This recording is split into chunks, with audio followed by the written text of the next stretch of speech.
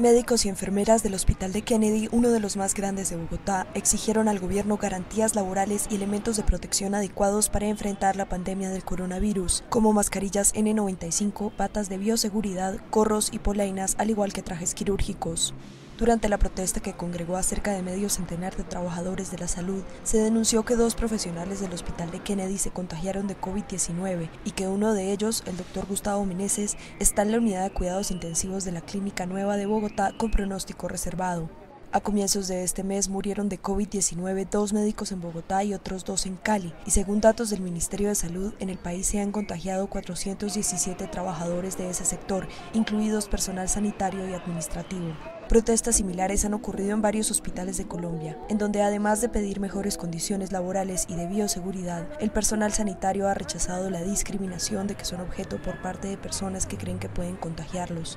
La discriminación va desde insultos o impedimentos de entrar a un supermercado hasta amenazas de muerte a médicos y enfermeras para que se muden de sus lugares de residencia o no vuelvan mientras dure la pandemia. En toda Colombia son 6.207 personas contagiadas, de las cuales 278 fallecieron y 1.411 se han recuperado.